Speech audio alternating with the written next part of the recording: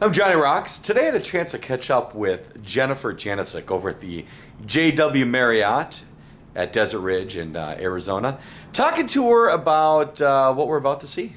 Hello. Hello, welcome to the JW Marriott Desert Ridge in Phoenix, Arizona. We are here for the National Pastry Championships. And this it's very exciting. They have it here in Phoenix every year.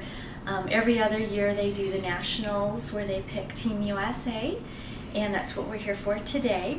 And um, next year will be uh, the World Championships where um, the Team USA that they choose today will go on to that championship next year.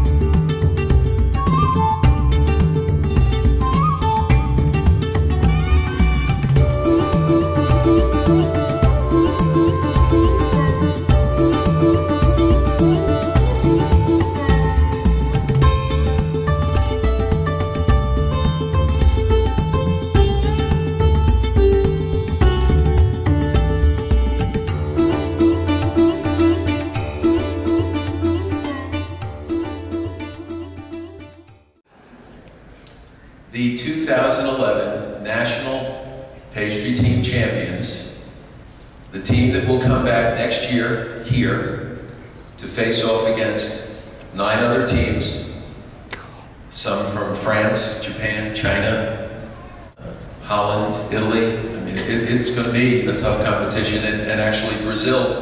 We're going to bring our first South American team next year, so I'm, I'm actually very excited about that. So the United States representative will be Team Wrestle.